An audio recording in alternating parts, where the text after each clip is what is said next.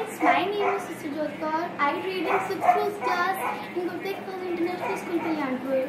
Today my topic is coronavirus. As we know that the whole world is suffering from the coronavirus. Many countries are uh, facing this virus. In our country, we are under lockdown from last two months. I would like to suggest you do not go out from home if take uh, precautions.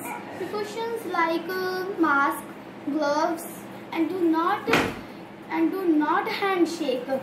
Um, only just say Sat Sri Akal, Namaste or hello for greeting.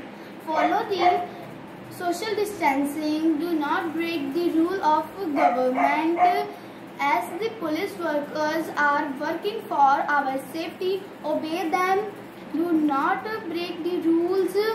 Let's pray. Let's let's pray for our betterment of our society. Stay home, stay safe, stay healthy. Thank you and have a nice day.